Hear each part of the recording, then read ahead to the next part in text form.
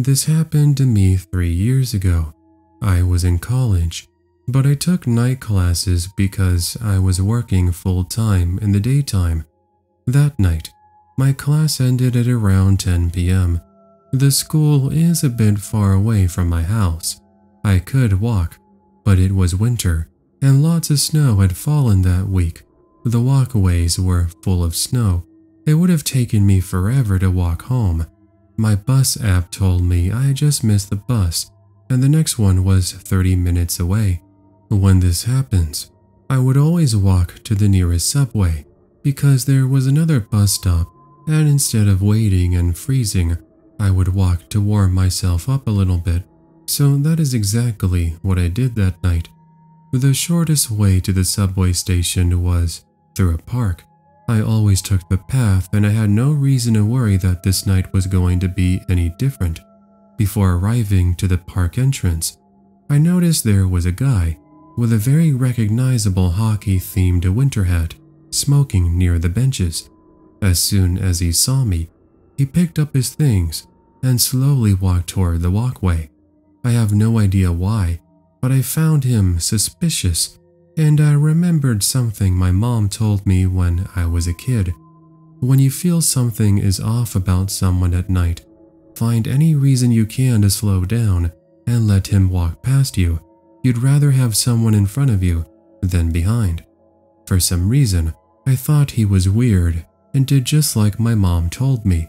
I faked receiving a text message and slowed down so he would be in front of me.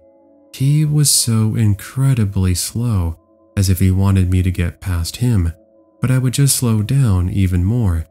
He was vaping something that smelled like super fake strawberry. This will be important later. I was hoping he wouldn't go into the park, but he did. We walk like that in the park until I noticed there was a hockey game going on. I decided I would go and watch the match just to let him take some distance before I would keep going. As I was turning right to get to the outdoor ice rink, he turned left on a path that goes by a building.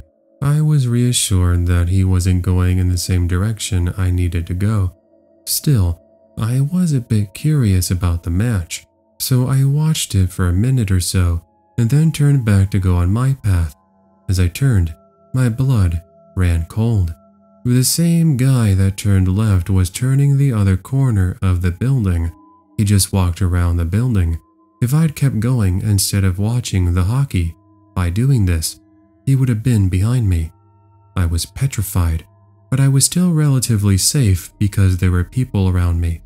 The guy walked slowly as ever in the direction I needed to go but I did not follow him straight away. I waited for a bunch of students to walk by and walked behind them. Safety in numbers, I guess. He was waiting by the park exit, checking his phone, and when he saw the bunch of students and I, he walked away. Normal speed this time. I saw him turn right on his street, and I thought that was the end of it. Eventually, I reached the subway station and started waiting for the bus. And then I smelled a very familiar potent strawberry smell. As I turned to look around, there was the guy with the hockey themed hat and another guy, both staring at me. When the bus arrived, I was shaking, and it was not because of the cold. They both got on the bus with me and other passengers. I told the bus driver about what happened where I live, past 9 p.m., women can ask a bus driver to be dropped off alone at a bus stop, making sure that nobody can follow her. And that is exactly what the bus driver did. I had the bright idea to get out on one stop earlier, and I walked in the opposite direction from my home and waited for the bus to leave. I turned around to wave at the bus driver as a way of thanking him, and I saw the two guys banging on the middle door the bus driver locked them so they wouldn't open it. I took the bus almost every night, and I never saw those two guys, nor have I ever seen them around my house. But here they were banging on the door, and although I could not hear them, I could clearly see them yell at the bus driver. When the lights finally turned green, and the bus left. I rushed back home, faster than I ever did in the snow. The next night after school, I was too nervous to use my shortcut through the park, so I took the long way around and I got to my bus safely. But what I saw on that ride scared the living hell out of me. At the bus stop that I had been dropped off at the previous day, there were two guys, one with a hockey themed hat. They did not get on the bus. My first thought was that they were waiting for me and not the bus. Lucky for me, this was not my stop.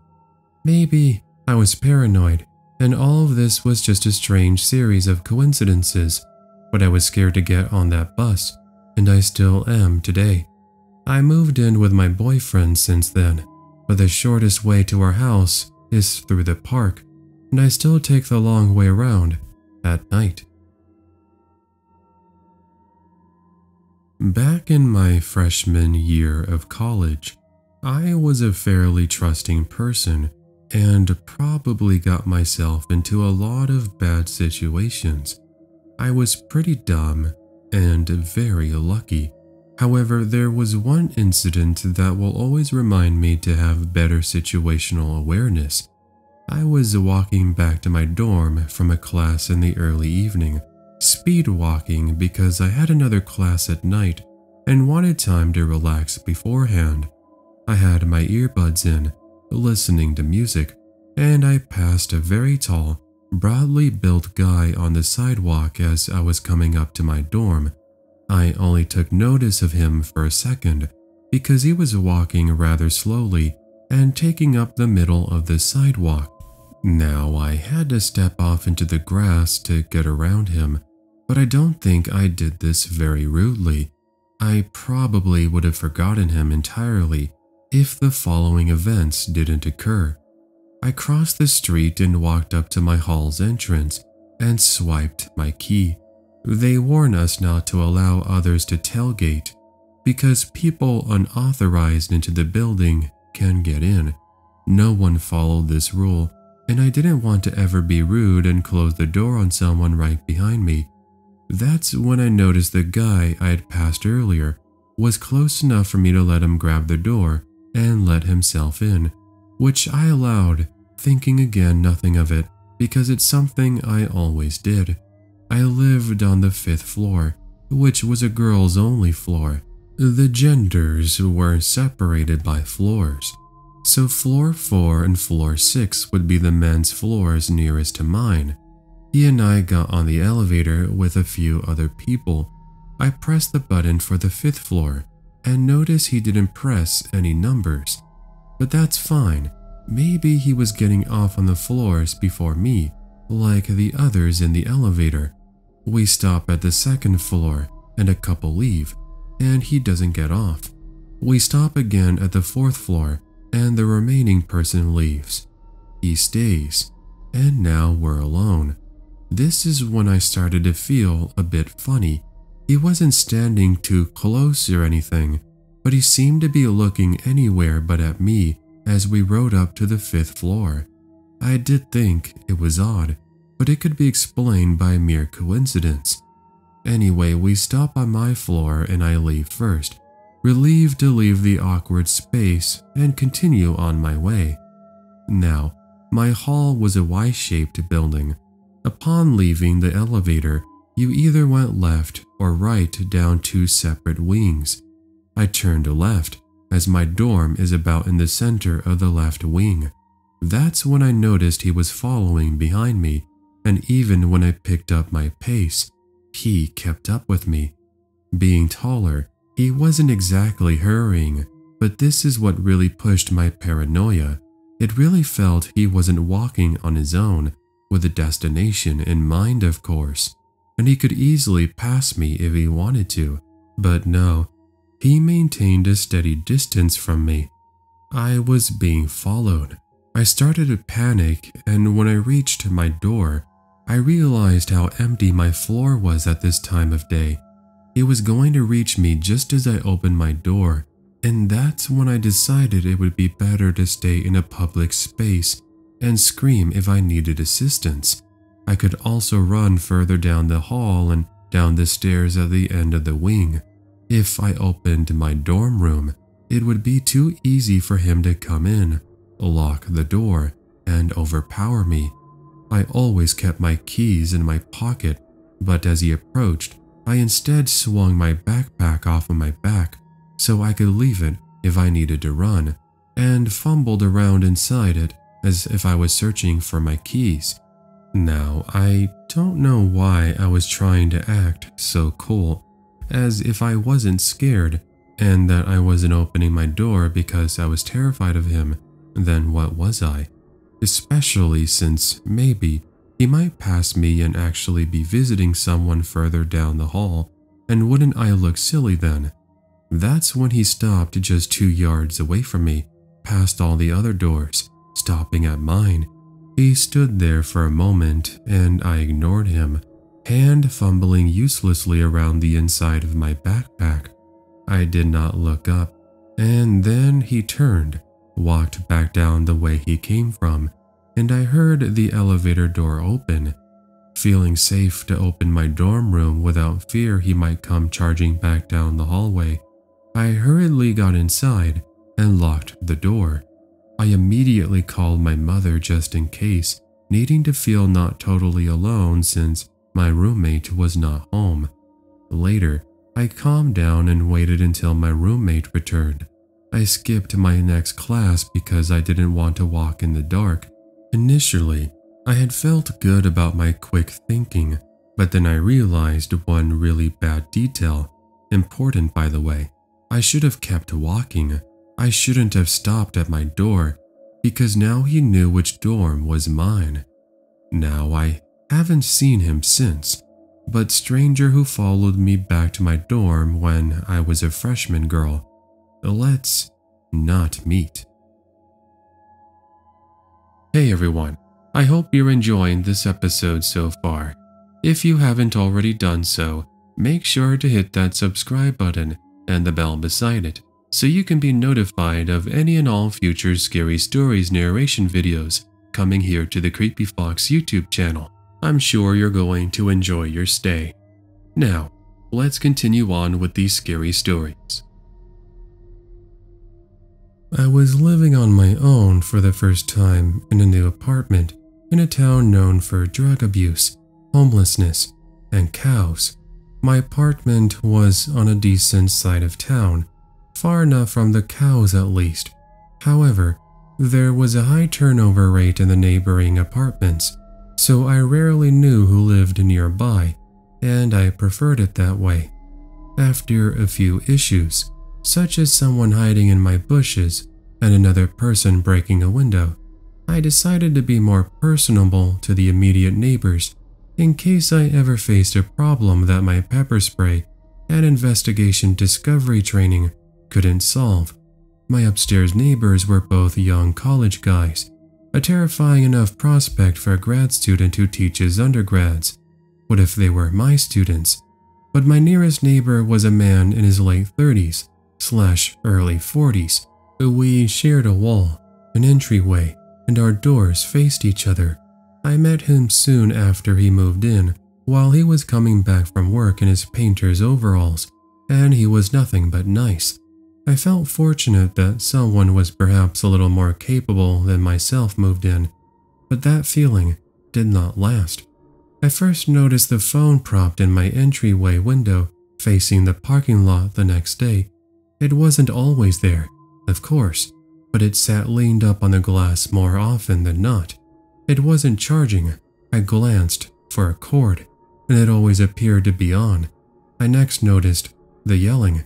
Every few nights, my neighbor would suddenly start yelling at crackheads around their property. Now, I'm not saying that there were no crackheads around. The cows are probably on crack around here as well, but I never saw anyone. He would storm through his door either to his back patio or into the parking lot, hollering at the top of his voice.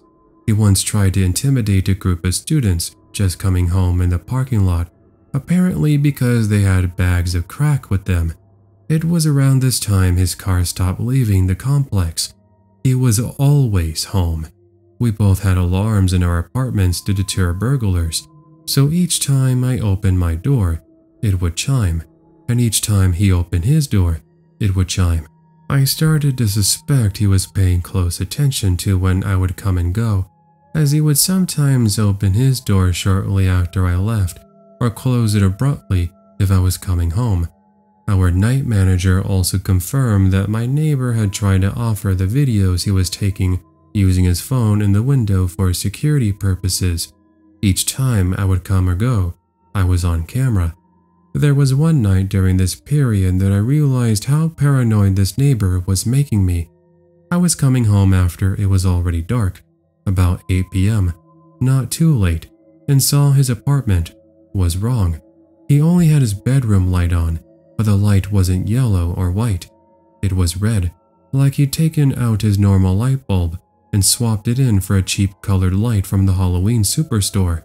Now, although I'm a generally rational person, I couldn't help but think, well, that's definitely mood lighting for a murder. I sat in the car for the next 30 minutes, but eventually made my way inside. Nothing else happened. That night, the final straw, before I found a new place to temporarily stay, happened on a day I accidentally ran into him in our entryway. We had a perfectly pleasant conversation where my ingrained politeness overcame my sense that this guy could hurt you, he is not well.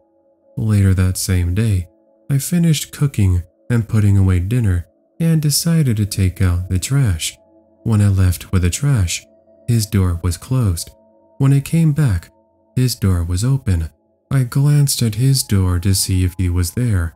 All but one of his lights were off, so all I could see was his silhouette peeking around the corner of his hallway. I very, very quickly let myself into my apartment and looked through the eye hole on the door. The man walked from the shadows of his hallway, naked from the waist down, and was pleasuring himself at his front door. He wasn't there long before he shut the door, but I was done.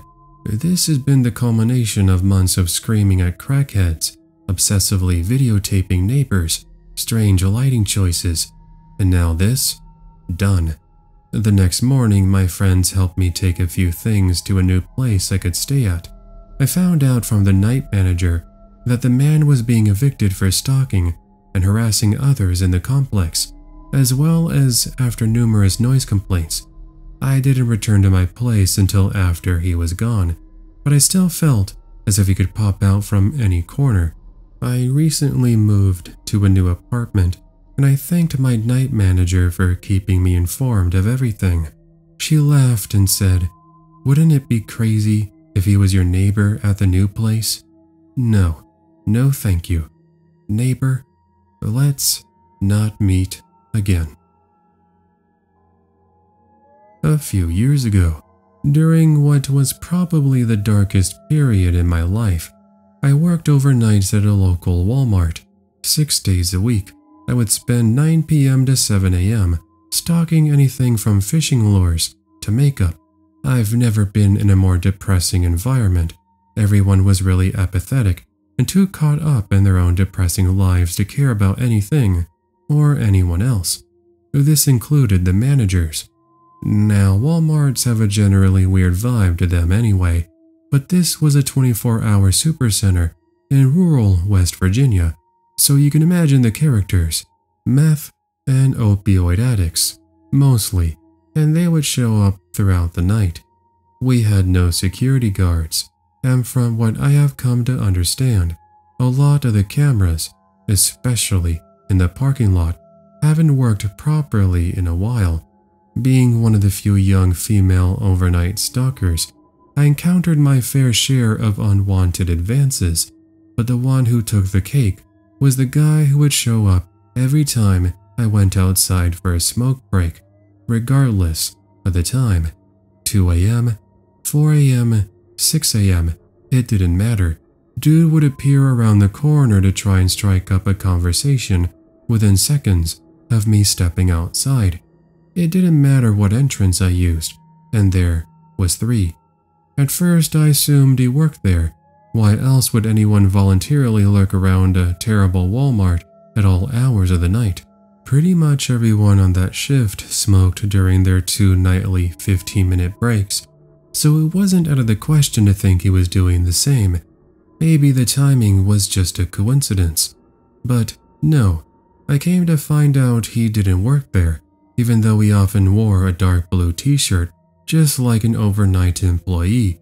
I stopped going outside alone and would only venture outside with one of my guy friends, particularly one I've been friends with since middle school. Even their presence alone didn't deter him, and it kind of became a store wide joke. I was weirded out, but not alarmed until he started getting a little more aggressive. He'd ask me if I was seeing anyone and would ask me out, pretty much every chance he got. I was playing GTA 5 at the time, so I came up with a story about my scary long distance boyfriend Trevor from Northern California even then, he wasn't fazed. I was done feigning politeness and began ignoring him. One night, when my main guy friend had called in sick and the others were working on something on the opposite side of the store, I went outside with two older women in my area. After a few minutes, they went inside, and just as I was about to follow them, Walmart Creeper suddenly appeared. Pretty sure he'd been waiting around the corner and insisted on me going to his car with him to see something, taking my hand in his. Not hard, but I was still pissed he touched me. I'm a generally angry person anyway, so I lost my stuff, ripped my hand away, and sprinted inside. I reported him to the head manager that night and found out he had a cousin who worked in the back unloading trucks. Apparently, he liked to hang out with his cousin at work the cousin apologized profusely and said he talked to him, but the management was a whole other level of terribleness and didn't even say anything to the creeper, let alone ban him from the premises. I ended up quitting specifically because of that horrible management, although it was over an entirely different situation.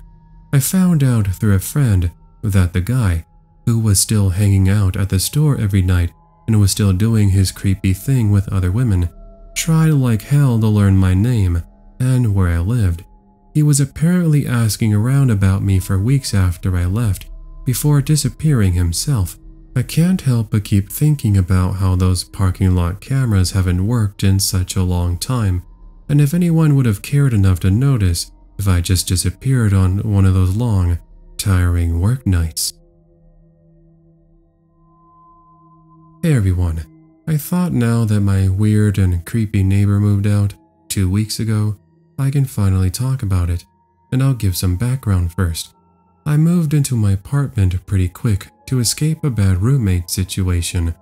I didn't get to do my normal checks on the area, but I figured it would be okay because I was relatively familiar with the area. I live in a quadplex and have a bottom one bedroom apartment.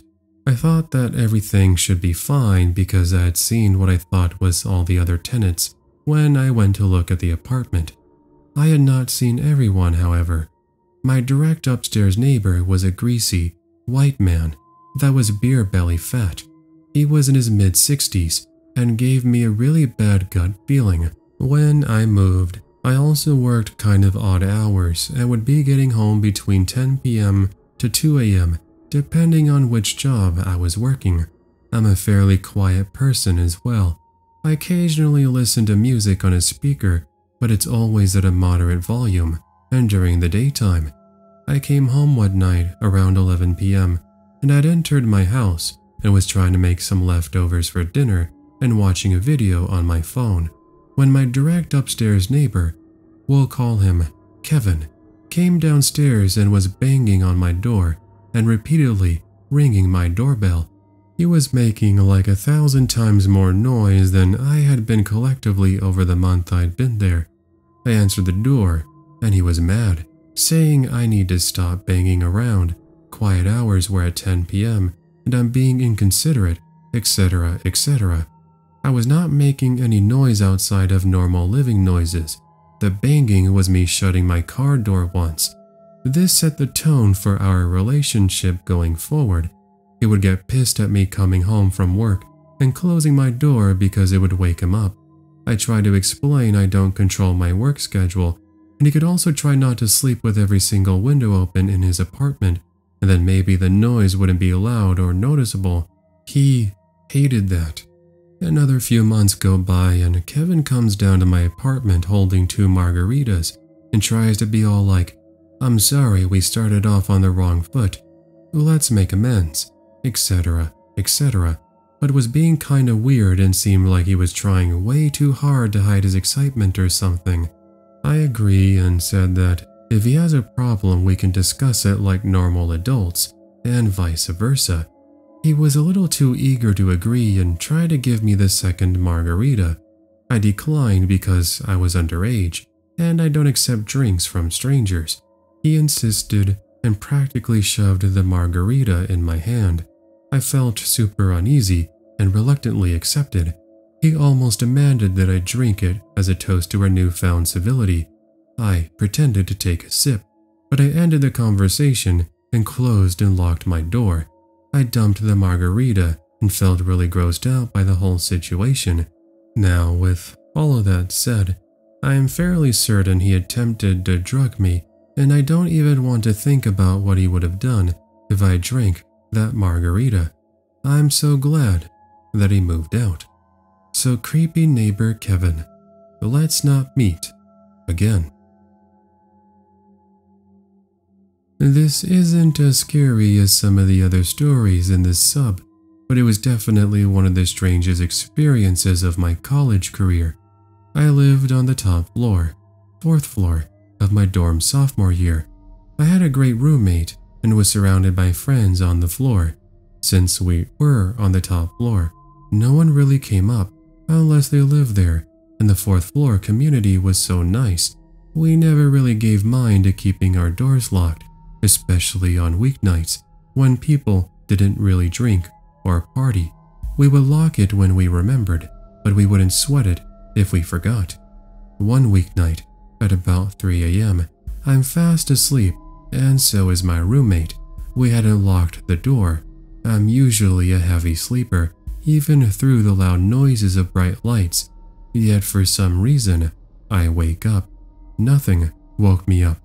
No noise, no light, not even the almost naked person standing next to my bed, staring at me. I was too confused and exhausted to be scared or to even comprehend the situation. He was a male student, white, tall, fairly built, and only wearing underwear. I stared back at him. I can't remember if I told him to leave or if he left on his own. If I did, it was in a normal speaking voice, though now I would most likely scream at him. I watched him walk out and close the door behind him. My roommate slept through all of this. More confused than scared, I got up, locked the door, and immediately fell back asleep. But The next morning, I was convinced it was just a weird dream. Then I checked the door. It was still locked. We didn't lock the door last night. It was definitely real. My roommate didn't believe me until I told him about the lock. We checked our belongings. Nothing was stolen or even moved. I told the RA who was shocked that I didn't scream, and honestly, so was I. From the way the guy acted, we speculated that he was either drunk or high and went to the wrong room thinking it was his. Or he could have been sleepwalking. He didn't look like anyone on the floor or anyone I knew in the building, but the incident was so brief and late that my memory was foggy even the next day. Perhaps it's not shocking that something like this happened in a college dorm, but to us, it was significant and very freaky. Similar incidents happened with other people on our floor, but the people who trespassed on them were not tall white guys. Also, those incidents occurred on weekends. I still have no idea who it was or what was wrong with him, and I'm sure I'll never know. We locked our door every night from that moment on. My family and I went to this indoor golf course at a resort. It's raining like crazy, so we couldn't go to the outdoor one. This golf course is in the basement of the resort, and it was scary as hell down there. The course must have been at least 30 years old and was damaged in places. No one else was down there except two workers. Now we're playing miniature golf, having a good time, and this family walks in. It looked like two grandparents and their grandchildren. Well, time goes on, and we finish our game, and the old guy is just standing near the door to leave.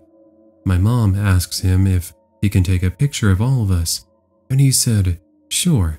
He takes maybe three pictures of us, and then starts taking them at different angles, and tells us to do different poses. Weird, yes, but it didn't weird us out too much at the time. He also complimented my hair. I have a nice afro, so I shook his hand and said thank you. He said some weird stuff to me, and then I said goodbye and thought that that was going to be it. No, I turn around to leave while everyone is going to turn their golf balls to the counter, and he starts talking to me, asking me to do some weird one of those tricks with him. Well, my family comes back and he starts talking to them. Now, I said it before, but this guy is a cuckoo. He starts asking just odd questions to them while I'm dying laughing in the bathroom because this guy is crazy. He hands my little sister a business card, and that I guess was the final straw. My dad booked it up the stairs, and everyone else followed behind. I didn't realize until my mom was saying goodbye to the guy. I booked it up the steps too, while laughing, and tears are streaming down my face.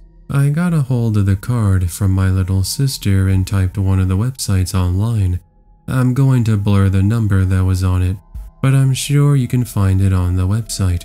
It looks like the cult website on GTA 5, if you know what I'm talking about. I'm gonna do some more research on the website, and you guys can too.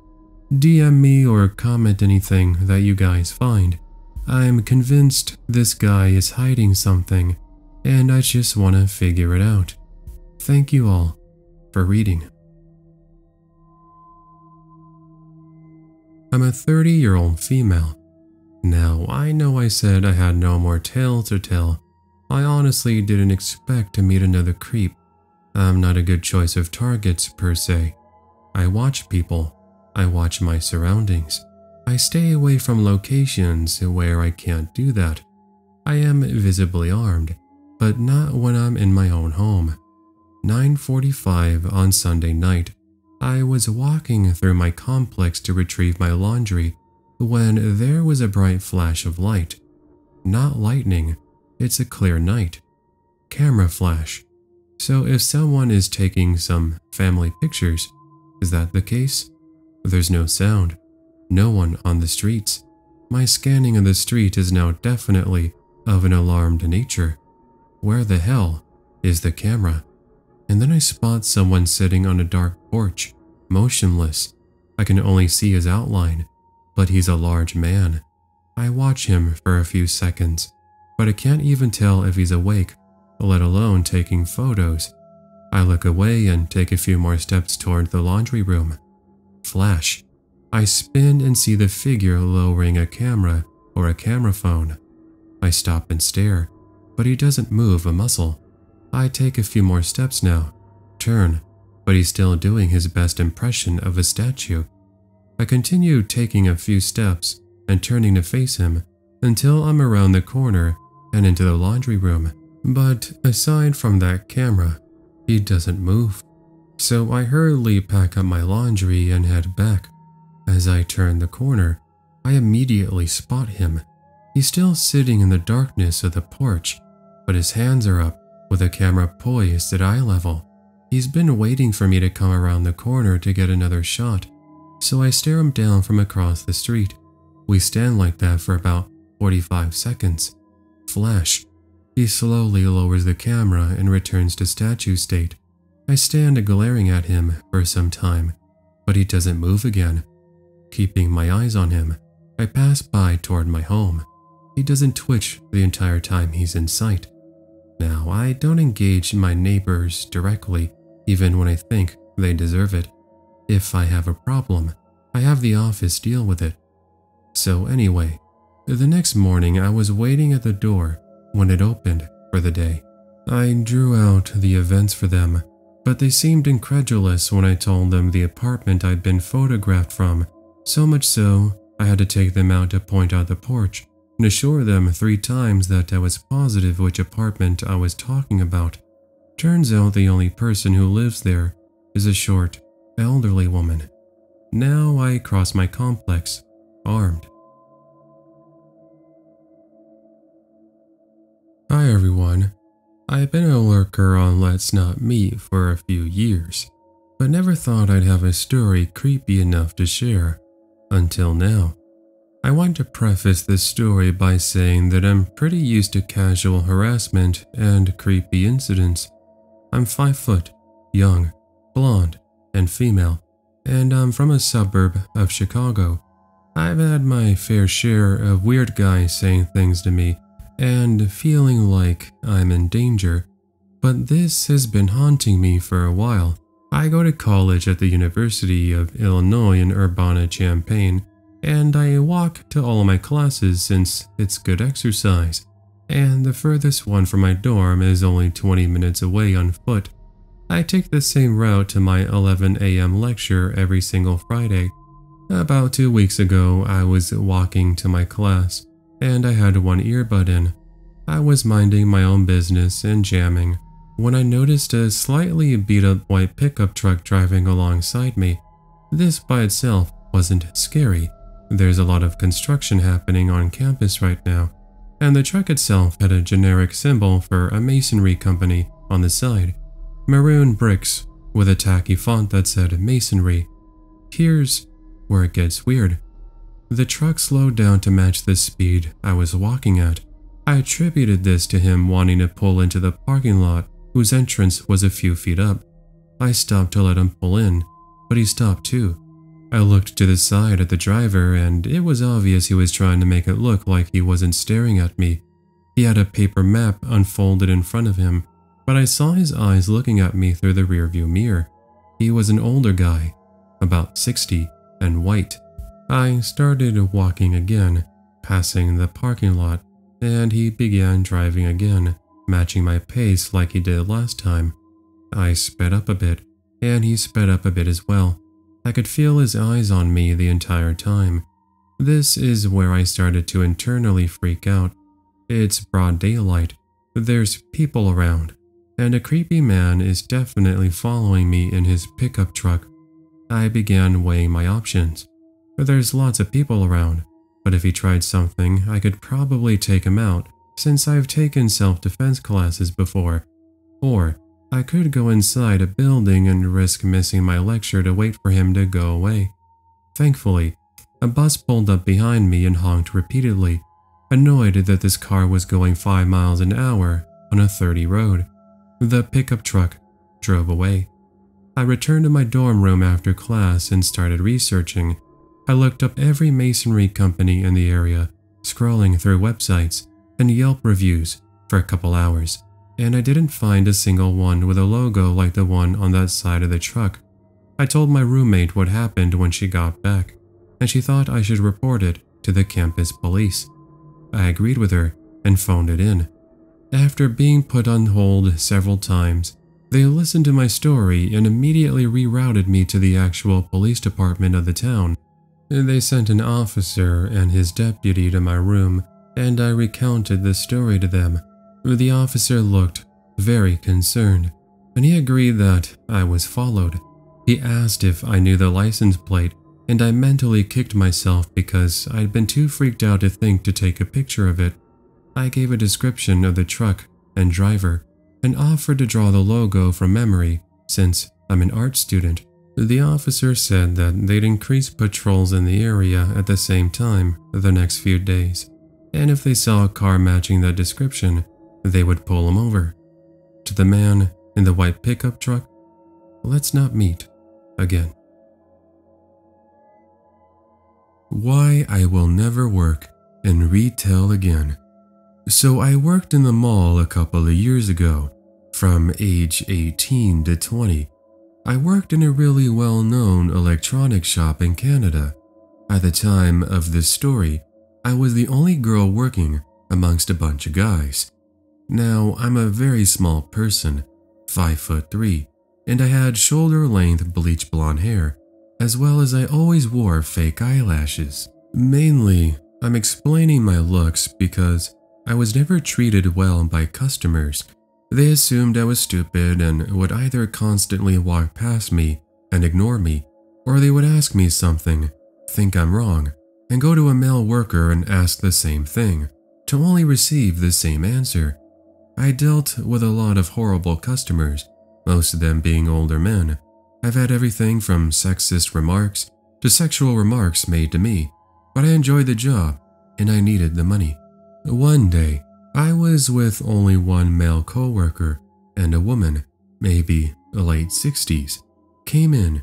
She seemed like a sweet old lady, so I sighed with relief that I would get to have a nice conversation with someone for once. But, of course, I was wrong. She came up to me and told me she had been overcharged on her phone bill. Now, while this isn't something we usually will deal with, I agreed to go look on her account to see what the charges were for. Unfortunately, the charges showed extra data usage or calling outside of Canada. I'm not too sure, but it basically showed that she got charged extra because of what she had done. So I moved my computer to show her and very politely told her what I saw and explained the extra charges. She kinda just looks at me and then clenched her fists, and internally I was like, oh crap, she's gonna hit me. My coworker was on break in the back. The mall was dead as it was almost closing time, so if she was going to hurt me, she could easily get away with it. So I started to back up, and she slammed her fists on the desk so hard that the pens on the desk moved. Within two seconds after that, she started screaming at the top of her lungs, mostly incomprehensible, and she started walking around the store, throwing things off the shelves. I kinda just stood there with a blank expression as I'd never experienced something like this before. She then came back to the counter, grabbed her phone, and started to walk around the store, slamming her phone on the ground, picking it up, and repeat.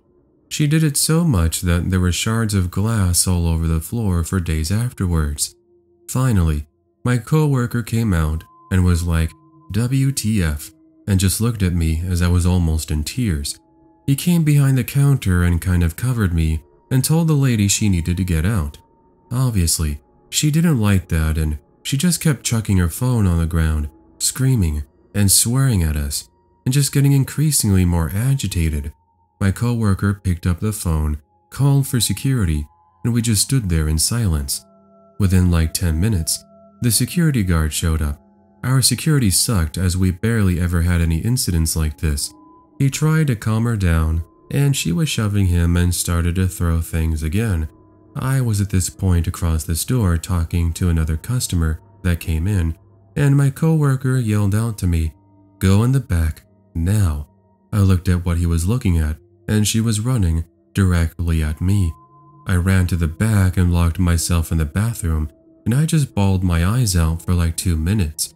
I came back out because I didn't hear any more screaming and I saw the security guard trying to put her in handcuffs. She literally body checked this poor man and ran. The police showed up and took our statements and looked at the security footage, and they said they'd get back to us, but we never heard anything again. And pretty soon after that, I quit. Before we get to the outro, here's an extra bonus story for making it this far into the video. Long-time lurker here on our Let's Not Meet. First time posting. I guess this isn't exactly something that happened directly to me, but something odd I witnessed. This happened during the summer of 2017. Every weekday, I would wake up early, around 5 a.m., for a morning workout, and then head to my job. Generally, I would leave my house around 5.30 because my morning drive took around 25 to 30 minutes, giving me enough time for two hours before I needed to leave before my shift started. Most of my drive was just me putting loud music on, trying not to fall asleep, and it being a freeway before 6 a.m. Almost everyone was going at least 10 miles over the speed limit. I drive most of the time on a main interstate before turning off onto a smaller highway, which I only would use for a mile or so. This highway was three lanes on each side. People also drive fast on here, but usually not more than 75 miles or more. And while you get some unsafe drivers in the morning, most people aren't swerving erratically. This highway runs north and south. An on-ramp from a main street becomes a lane. Then there are two entrances from the freeway I would take every day. One from the eastbound side and one from the westbound side. I hope that makes sense. But basically, I got on from the eastbound side right as three cars from the westbound side are entering. One was sort of a orange sportyish car, and the other two were identical dark gray sedans.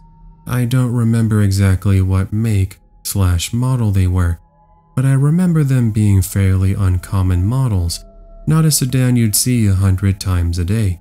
One was in front of this orange car, one behind. These guys were going at least 80 miles an hour. The orange car would change lanes, and the car in front would cut him off, while the one behind would change lanes to remain behind him. They kept this up the entire time I was on the highway near them, weaving in and out of the cars, not slowing down, before I pulled off at my exit. This could be a complete coincidence and some a-hole drivers, but I definitely got the vibe that the driver of the orange car was trying to get away from the gray cars. Maybe it was extreme road rage, or maybe something more sinister. Regardless, I'll never know. So drivers of those gray cars, let's not meet. Hello everyone, thank you for listening to the Creepy Fox podcast. If this is the first time you've joined us, then make sure to hit that subscribe button and the bell beside it. That way you'll be notified of any and all future uploads coming here to the Creepy Fox. Also, if you enjoyed it, make sure to leave a like rating and a comment down below telling me what you all thought. And make sure to pick up some Creepy Fox merchandise if you like. That's available right below the video player. Now I'd like to go ahead and give a very special thank you to all our channel members. Thank you to Robbie, Bo, Spunky the Nutcase, Rice and Beans, Linz, Maribel, Medu Saltil, Dread Archive, Sean, Jen, Corey, and Sylvia. Thank you, of course, to all the regular viewers who constantly tune in and listen to the videos and share them with family and friends. It really does go a long way to help out the Creepy Fox family grow. Speaking of that, if you'd like to go ahead and share your own story for a future episode, then make sure to send it in using the user submissions email on screen. That's tcfnarrations at gmail.com. As you saw today, we did go ahead and feature some stories from Reddit. I have discussed this in the past, and because I want to go ahead and give you guys more videos without you having to wait forever for new uploads, I'll be going ahead and including stories from Reddit, along with these scary stories that subscribers send. Thank you for understanding. So, that's going to go ahead and do it for today. I'll catch you all on the next episode. Until then, take care and have yourself an amazing day.